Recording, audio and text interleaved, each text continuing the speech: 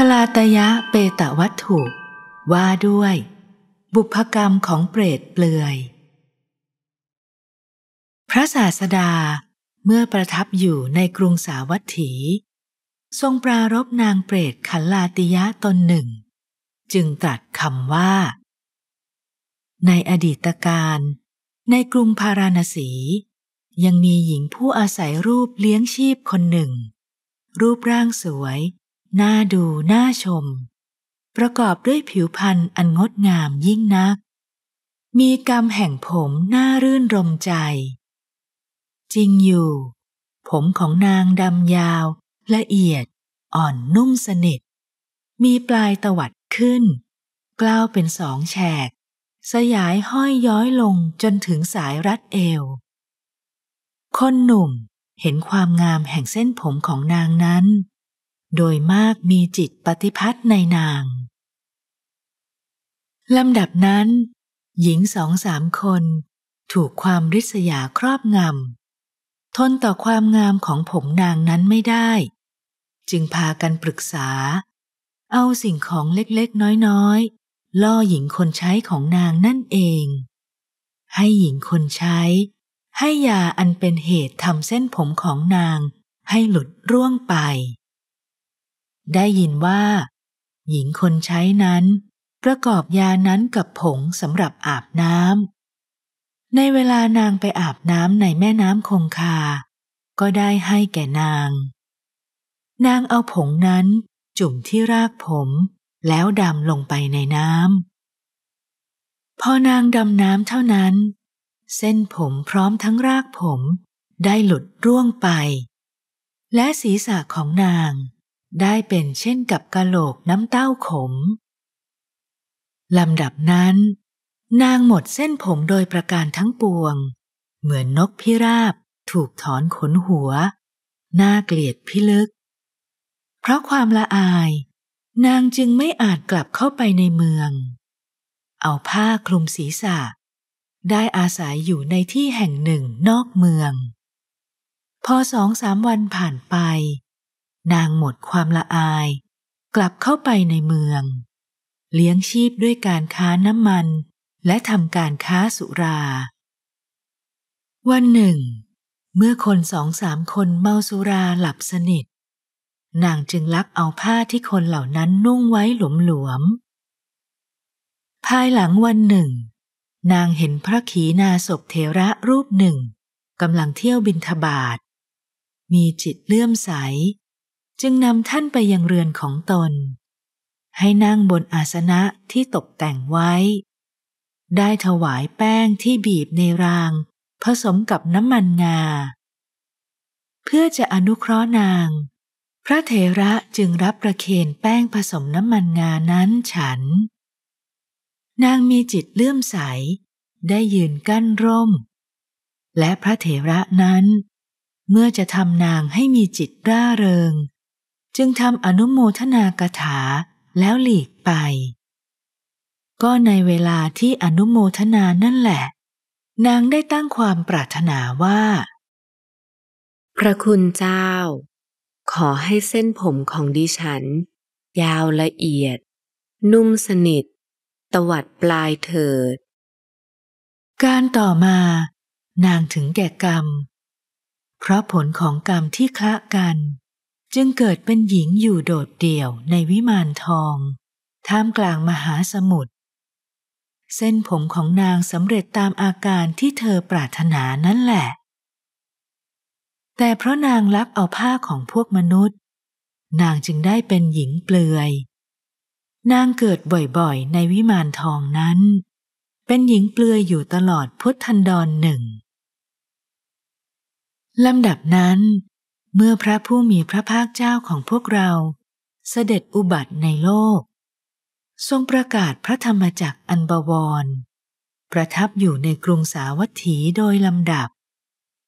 พ่อค้าชาวกรุงสาวัตถีเจ็ดร้อยคน แล่นเรือไปสู่มหาสมุทรมุ่งไปยังสุวรรณภูมิ เรือที่พวกพ่อค้านั้นขึ้นไป ถูกกำลังลมพัดผันให้ปั่นป่วน จึงหมุนไปข้างโน้นข้างนี้ จนถึงสถานที่ที่นางเวมานิกเปรตนั้นอยู่ลำดับนั้น นางเวมานิกเปรตนั้น จึงแสดงตนแก่พวกพ่อค้านั้นพร้อมด้วยวิมาน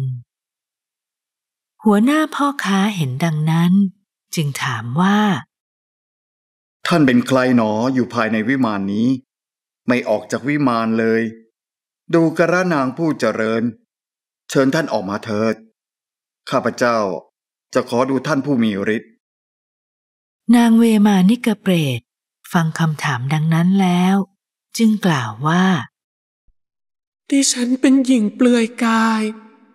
มีแต่ผมปิดบังไว้ กระดากอายที่จะออกภายนอก ดิฉันได้ทำบุญไว้น้อยนัก ดูกระนางผู้มีรูปงาม เอาเถอะ ข้าพเจ้าจะให้ผ้าเนื้อดีแก่ท่าน เชิญท่านนุ่งผ้านี้แล้วจงออกมาภายนอก เชิญออกมาภายนอกวิมานเถิด ข้าพเจ้าจะขอดูผู้มีฤทธิ์มาก ผ้านั้น ถึงท่านจะให้ที่มือของดิฉันเอง ก็ไม่สำเร็จแก่ดิฉัน ถ้าในหมู่ชนนี้ มีอุบาสกผู้มีศรัทธา เป็นสาวกของพระสัมมาสัมพุทธเจ้า ขอท่านจงให้อุบาสกนั้น นุ่งห่มผ้าที่ท่านจะให้ดิฉัน และอุทิศส่วนกุศลให้ดิฉัน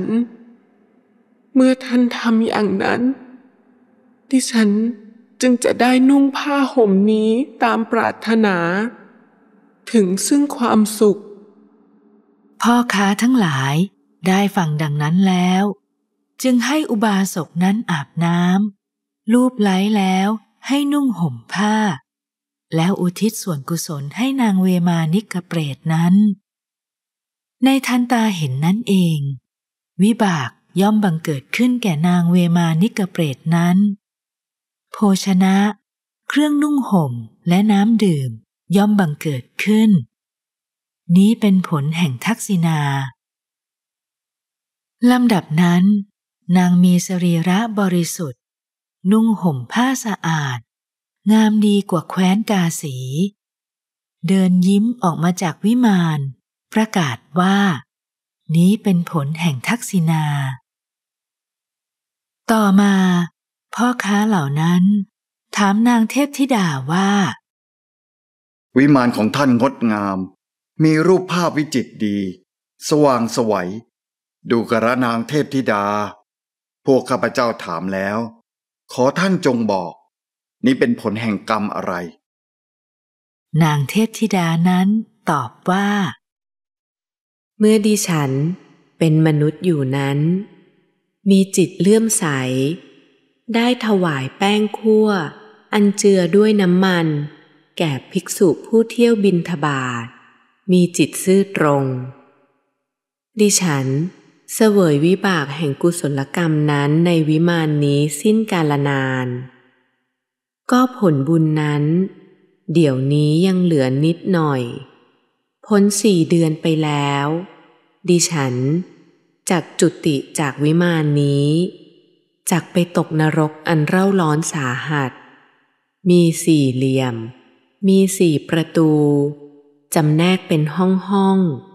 ล้อมด้วยกำแพงเหล็ก ครอบด้วยแผ่นเหล็ก พื้นนรกนั้น